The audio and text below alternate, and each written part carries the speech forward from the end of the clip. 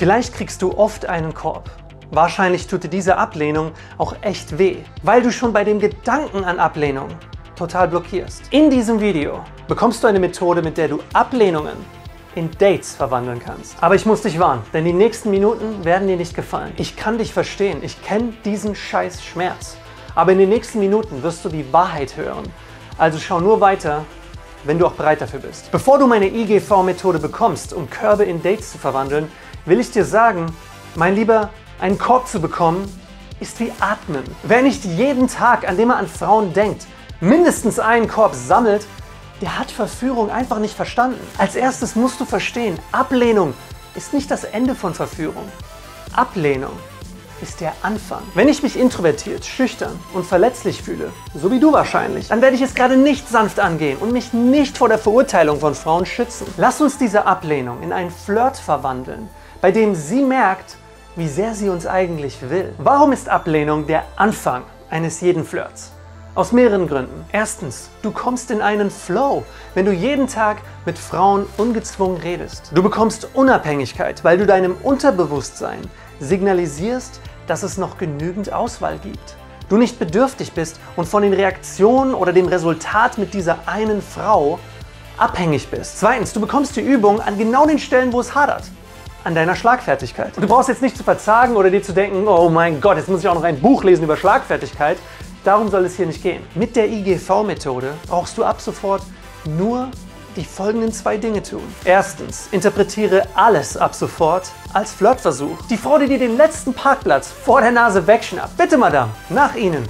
Haben Sie sich verdient. Die schnippische Kassiererin. Oh, hat da jemand wohl einen schlechten Tag erwischt? Na komm, so schlecht kann er doch nicht gewesen sein. Sag dem Kollegen oder der Kollegin, die gerade in deinen Raum kommt, um sich nach den letzten Quartalszahlen zu informieren, sag ihr einfach, na komm, du wolltest doch nur mich sehen, oder? Gibst du, du hast mich vermisst. Alles von deiner Umgebung ist ein Flirtversuch.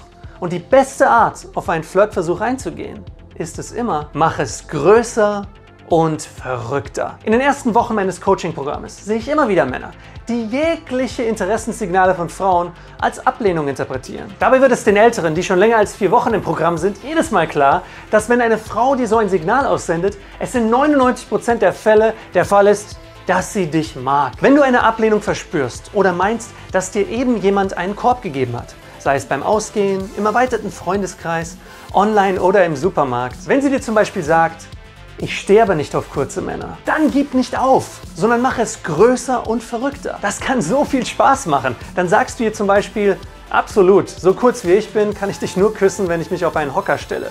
Musst du dich wohl runterbeugen. Spul nochmal zurück. Ich habe ihre Ablehnung gerade einfach nur größer und verrückter gemacht. So etwas zeigt Selbstvertrauen und Frauen lieben Selbstvertrauen. Wenn sie dir sagt, sie hat einen Freund, dann entgegne ihr, Wow, das ist aber mal eine Abfuhr. Hast du sie dir den ganzen Tag überlegt? Na komm, das geht aber besser. Aber was ist mit den Frauen, die wirklich kein Interesse haben?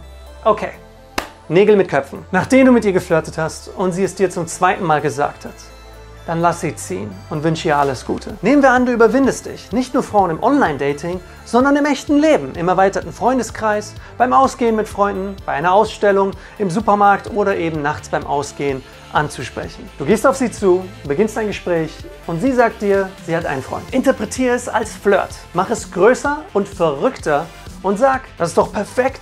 Ich habe auch eine Freundin. Dann können wir die beiden ja verkuppeln, irgendwohin ausbüchsen, eine neue Identität annehmen und endlich das Agentenleben leben, das wir immer leben wollten.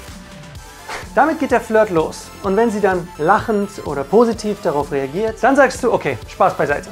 Wie verrückt wäre es, wenn du und ich wirklich auf ein Date gehen würden? Und bleibt sie da und findet den Gedanken auch irgendwo spannend, dann mach ihr einen konkreten Vorschlag, wo ihr hingehen könnt. Danach reichst du ihr einfach dein Handy und bittest sie, ihre Nummer einzutippen. Wenn du die IGV-Methode anwendest, dann wirst du verdammt oft feststellen, dass der vermeintliche Freund doch nicht existiert. Männer, die gut mit Frauen umgehen können, die vergrößern Ablehnung und ziehen sie ins Absurde.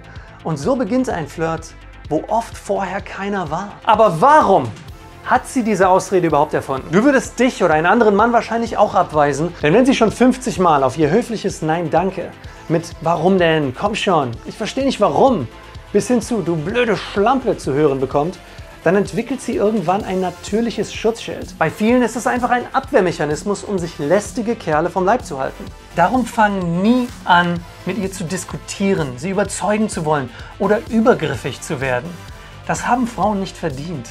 Verbreite deine gute Laune dann eben einfach bei anderen Menschen. Für dich ist Ablehnung ab sofort nur der Anfang einer witzigen und vielleicht wunderschönen Nacht. Und wenn du wissen möchtest, mit welcher geheimen Flirtformel ich seit Jahren mit Frauen tiefe Verbindungen aufbaue, dann bekommst du sie jetzt.